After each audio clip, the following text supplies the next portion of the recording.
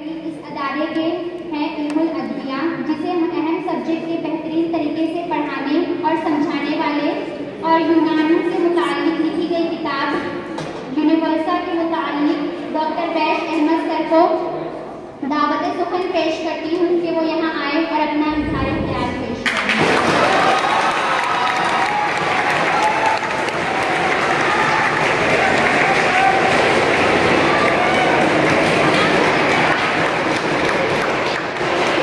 बनना का नज़रिया हमने दिया जीने का सलीका हमने दिया ये उलूम की जो कहानी है इसमें यूनानी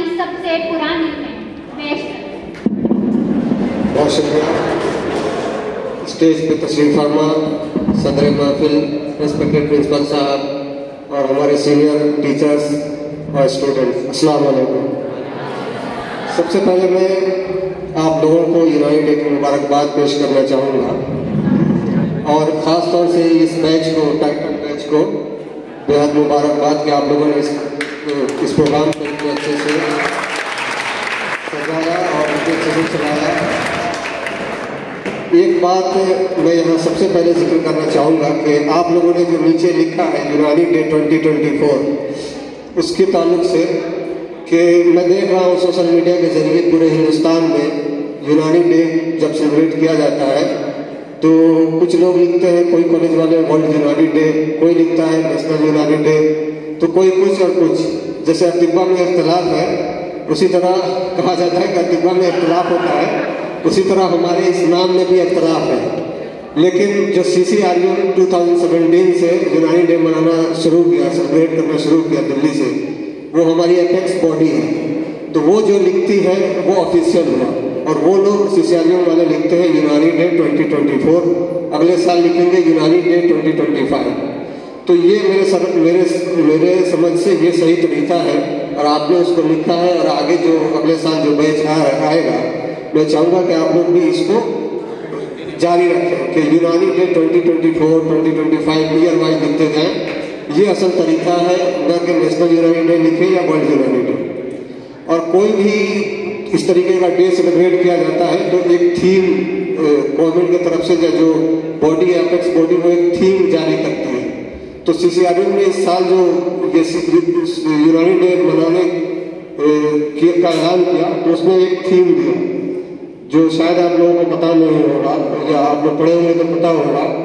वो थीम ये है कि Unani medicine for one earth one health यानी इसका मकसद ये था इस लाइन के ज़रिए कि हम यूनानी डे को ग्लोबलाइजेशन करने, यूनानी को अपने ग्लोबलाइजेशन करने की कोशिश करें। दुनिया में आलमी सतह पर इसकी इशात की और इसकी तरक इसकी प्रोपेगेशन के लिए हम लोग काम करें। तो ये इसके पीछे एक मकसद था। यूनानी day one earth Unani medicine for one earth one health तो अगले साल जो सेलिब्रेट करें वो लोग, अगले साल की थीम को पहले से पता करें, उससे रिलेटेड चीज़ों को, वो करें तो ज़्यादा बेहतर होगा।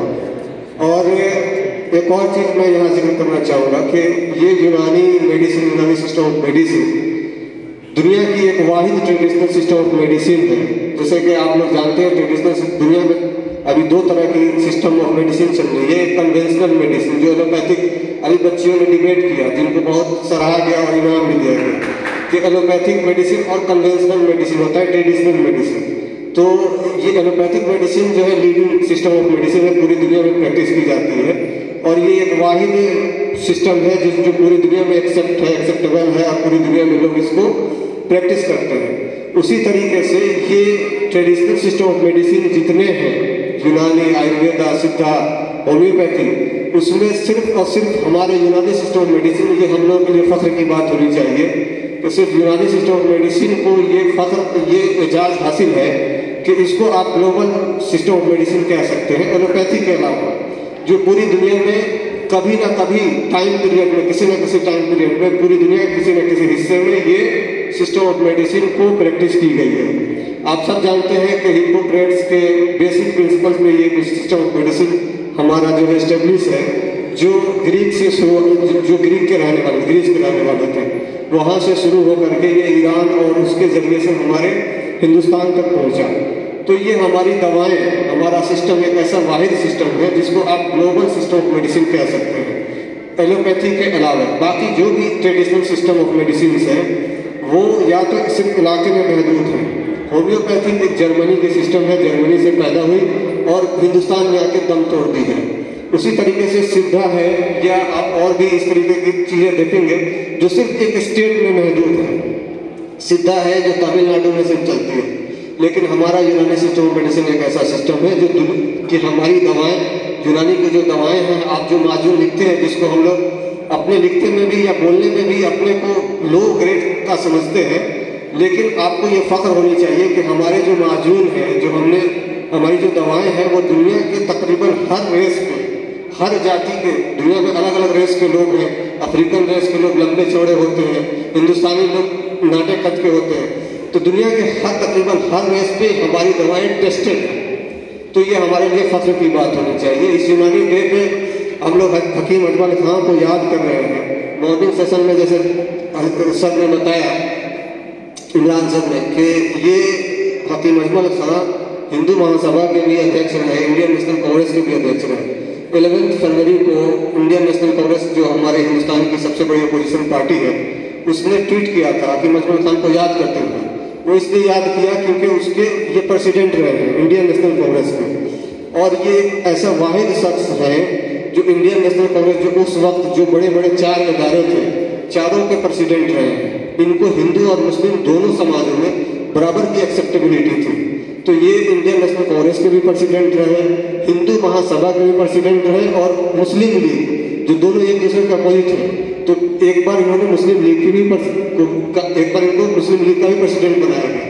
उसी तरह ऑल इंडिया खिलाफत कमेटी, उसके भी प्रेसिडेंट रहे हैं। तो ये जो लफ्ज हकीम है, जो हम लोग अपने आप को हकीम कहने में थोड़ा सा लो समझते हैं, ये हकीम अपने आप में बहुत बड़ा लफ्ज है, जिसको हम लोग जो है उसके काबिल अपने आप को नहीं बना सकते ये हमारे असलाफ थे जो उस लफ्ज को सही मायने में उसको इज़्ज़त देते थे, कि हकीम का मतलब होता है कि जिसके जो विजडम से भरा हुआ हो, और वो कई सारे फन का माहिर हो।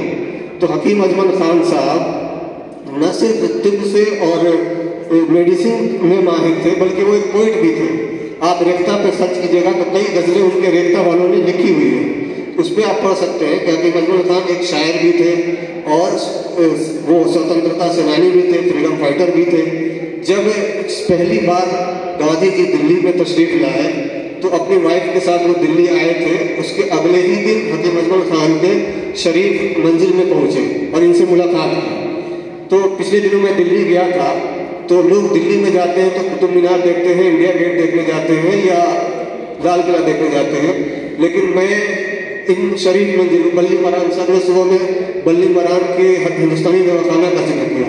मैं वहाँ गया था, उन गलियों में गया था, पूछा चिराग, जहाँ से हमारी सारी यूनानी किताबें पब्लिश होती है। मैं उन गलियों में गया, ये देखने के लिए, उन चीज़ों को महसूस करने के लिए कि जो हमारा बेस है तो ये शरीफ मंजिल जहाँ से यूनानी का फरोग हुआ, जिस जिस शरीफ खानदान के रहने वाले हकीम अजमल खान थे, जिसको आज हम याद कर रहे हैं, वो बहुत जगह हाल में है, अभी भी, लेकिन हालाँकि वहाँ पे नेम प्लेट है। मैं वहाँ गया, वहाँ से फ़ोटो खिंचा के आया। हिंदुस्तानी दवाखाना अभी भी है और उसको गवर्नमेंट ऑफ़ इंडिया ने अपने अंडर में ले लिया है। और उसको एक डिस्पेंसरी वहाँ पे शुरू कर दिया आयुर्वेदिक यूनानी कॉलेज अब हिंदुस्तानी दवाखाना नाम नहीं है, लेकिन वो अभी भी एज इट इज़ है। उसी के ठीक सामने गालिब की हवेली है, जो हकीम अजमल खान के का की मिल्कियत थी। उनके वालिद ने किराए पे गालिब साहब को घर दिया था। गालिब की अपने कोई घर नहीं था। वो किराए पे रहते थे। तो बस हिंदुस्तानी दवाखाना के जस्ट अपोजिट गालिब की हवेली है, जो उस, जो अब उनको वो गवर्नमेंट ने लेकर के म्यूज़ियम की तरह बना दिया है। तो इन सब चीज़ों से हमें कनेक्ट होना चाहिए कनेक्ट रहना चाहिए। इस दिन पे ये इनको याद करने का मकसद यही है। पिछले दिनों आप लोग खबरों में सुने होंगे, एक सुनहरी मस्जिद दिल्ली में काफ़ी खबर में था। सुनहरी मस्जिद जिसको गवर्नमेंट हटाना चाह रही है वहाँ से कि वो एक चौराहे के बीच बीच में है। उसके बारे में भी कहा गया है कि उस बनवाया तो किसी और ने था, सात चार सौ पाँच सौ साल पहले पुरानी मस्जिद है, लेकिन उसका रिकंस्ट्रक्शन हमारे हकीम अजमल खान ने करवाया था। और उसके चारों तरफ़ जो, उसके चारों तरफ़ एक बाग है, एक गार्डन है, उस गार्डन को किसी ज़माने में हकीम अजमल खान साहब का हकीम जी का गार्डन कहा जाता था। तो इतनी इज़्ज़त थी। आज भी हकीम अजमल खान के नाम पे एक रोड है, हकीम अजमल खान रोड जामिया मिलिया इस्लामिया हिंदुस्तान का सबसे बड़ा और रैंकिंग में एक दो नंबर पे आता है सबसे बड़ी यूनिवर्सिटी। वो हमारे हकीम अजमल खान की देन है। उनकी उनका बनाया हुआ उन, उनकी तामीर करदा वो यूनिवर्सिटी है और सबसे पहले वाइस चांसलर हकीम अजमल खान थे उसके। और हकीम अजमल खान के आखिरी वक्त में ऐसा एक, एक बार ऐसी नौबत आई कि उस यूनिवर्सिटी में पढ़ाने पढ़ने पढ़ाने वाले टीचर्स की सैलरी देने के लिए पैसे कम थे। तो उन्होंने अपनी घड़ी और अंगूठी बेच दी थी। और उन्होंने खजानची को दे दिया था कि इसको बेच करके टीचर्स को सैलरी दो।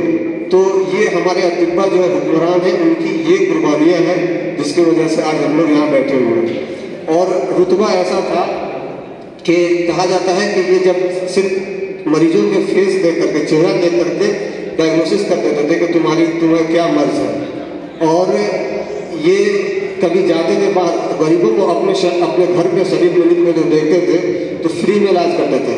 लेकिन उस जमाने में आज से सौ साल पहले जब ये कहीं बाहर जाते थे किसी कंसल्टेशन के लिए कोई बुलाता था तो दस हज़ार रुपये चार्ज किया करते थे। अब आप लोग अंदाज़ा लगाइए कि सौ साल पहले के सत्तर सत्तर सत्तर अस्सी साल पहले जब कोई दस हज़ार रुपये ले रहा है तो आज के ज़माने में वो उसका क्या क्या वैल्यू होगी? तो ये था हमारा मुकाम जो इस इस डे पे हम लोगों को इस चीज़ को याद करना था, इसको बुलाना बुलाना था।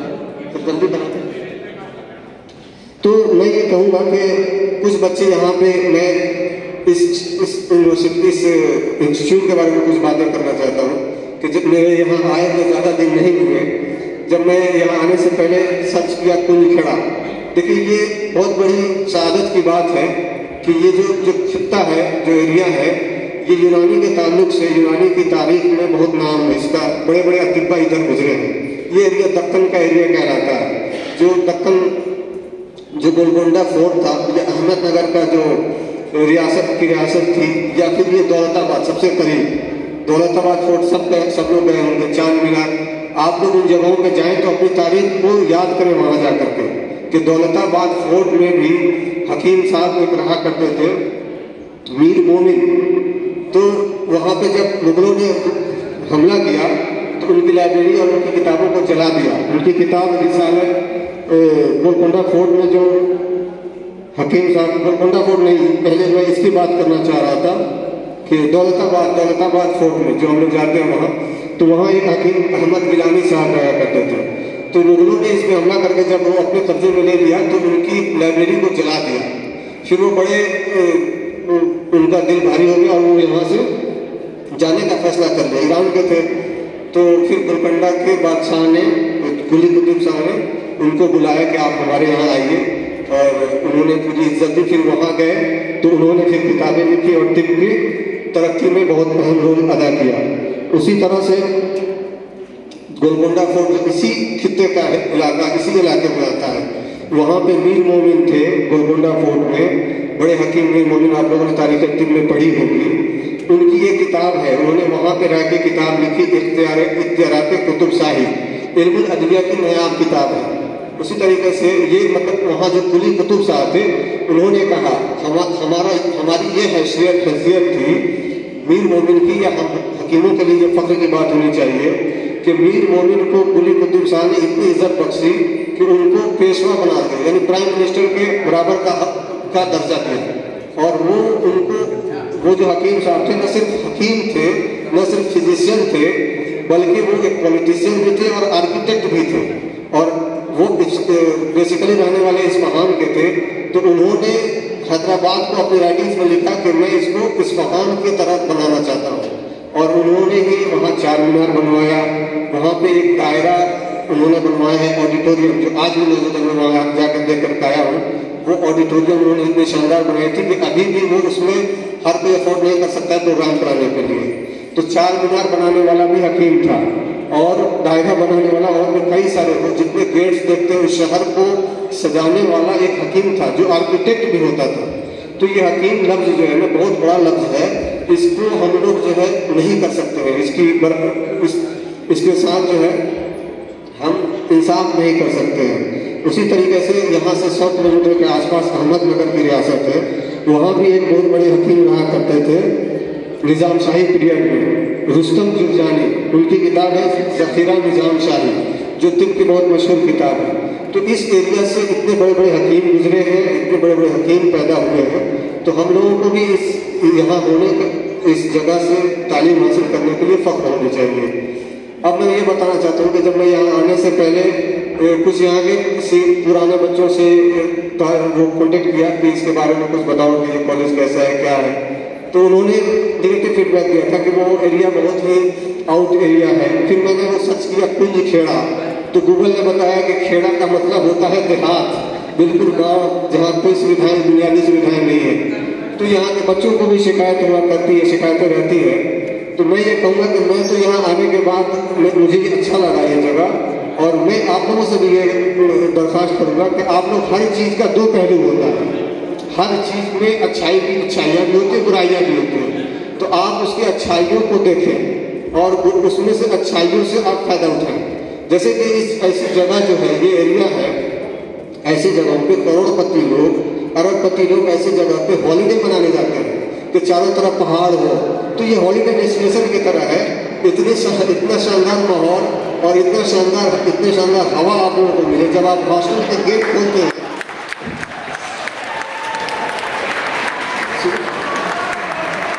सुबह सुबह जब आप हॉस्टल की खिड़कियाँ खोलते होंगे तो पहाड़ों से टकरा के सूरज की किरणें आती हैं, जो हर जगह नहीं महसूस नहीं हो सकती।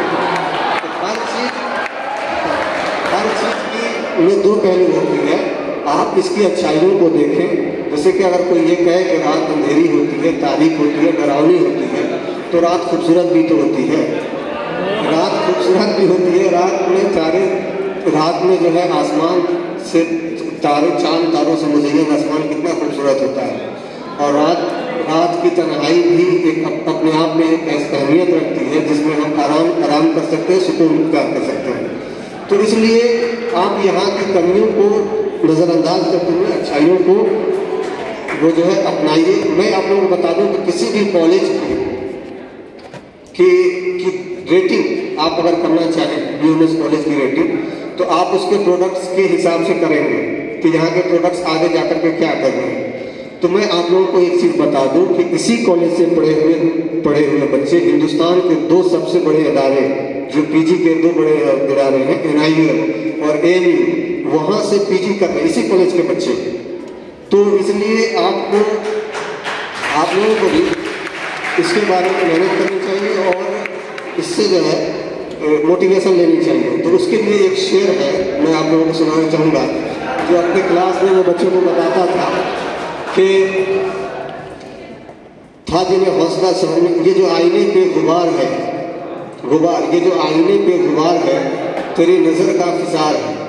आईने, एक शख्स आईना देख रहा था और वो आईने पे गुबार निकाल रहा था कि आईने पे गुबार का चेहरा साफ़ नज़र नहीं आ रहा है। जबकि वो वो जो गुबार था, उसके चेहरे पे था।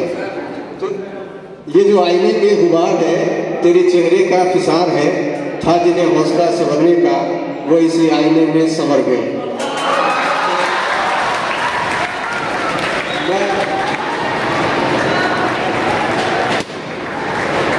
मैं अपनी बात अब खत्म करना चाहूँगा सीनियर्स का इशारा आ रहा है। यहाँ पे लड़के बहुत ज़्यादा हैं तो मैं उनके लिए भी एक शेर कह के जाना चाहूँगा। एक नॉवेल है मेरा अहमद, की शायद आप लोग पढ़े होंगे, कुछ लड़कियाँ पढ़ी भी होंगी। आब हयात। तो उमेरा अहमद की एक नॉवेल है, आब हयात, उसकी दो लाइनें हैं। मैं समझता हूँ कि आप लोगों को ये दो लाइन जो ना, अपना स्टडी टेबल के आगे लिख लेनी चाहिए मोटिवेशन के लिए। वो ये है कि उमेरा अहमद लिखती है कि एक लड़की कहती है कि जब तुम, एक लड़की कहती है कि मेरे बारे में जब कोई लिखे तो वो क्या लिखे? वो ये कहना चाह रहे हैं कि सुनो न लिखना कभी तुम मेरे रंग रूप चाल के बारे में। सुनो, न लिखना कभी तुम मेरे रंग रूप चाल के बारे में। तुम लिखना तो लिखना मेरे ख्वाब, मेरी उड़ान के बारे में।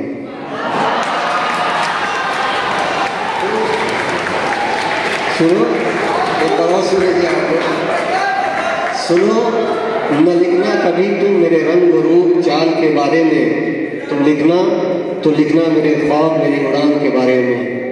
मतलब यह है कि और मैं बात खत्म करने से पहले मैं ये कहना चाहूँगा कि मैं पोस्टर्स को देख रहा था तो एक पोस्टर बच्चों ने बनाया, लड़कियों ने बनाई हुई है तिब्बी यूनानी के बरक्षा सितारे। तो मुझे उन लोगों वो, उन्होंने बहुत अच्छी मेहनत की और मुझे अच्छा लगा, लेकिन उनसे मुझे एक शिकायत है। वो ये है कि शायद जगह की कमी की वजह से वो लोग इब्न सीना का नाम उस पर ऐड नहीं कर पाए। इब्न सीना तिब्बे यूनानी के, यूनानी दुनिया के सबसे बड़े सबसे बड़े सितारे हैं। आप जब अगर उनको नहीं दिख रहे हैं, उनको जगह नहीं दे रहे हैं तो ये हमारे लिए तो आप लोग इसके बाद ख्याल रखेंगे अगर सिर्फ़ एक बंदे का उसमें बनाना होता ना तो आपको इब्न सीना के लिए जगह देनी चाहिए थी। क्यों? क्योंकि Ibn Sina was the greatest mind of all time Ibn Sina was the greatest mind of all time. He was a philosopher, physician, poet, politician. So it's no wonder that after 12, 1200 years, we are still obsessed with him. तो इसका आप लोग ध्यान रखिए और जो बच्चियों ने जो तराना पढ़ा था वो तिब्बे यूनानी में जो तराना पढ़ा था मैं उनको एक बार और मुबारकबाद देता हूँ कि उन्होंने बहुत अच्छे से लिखा और आप लोग आप लोग प्रोग्राम के बाद चारों जो पढ़े हैं आप तो वो मुझसे मिले, मैं आप लोगों को इसके लिए इनाम दूँगा।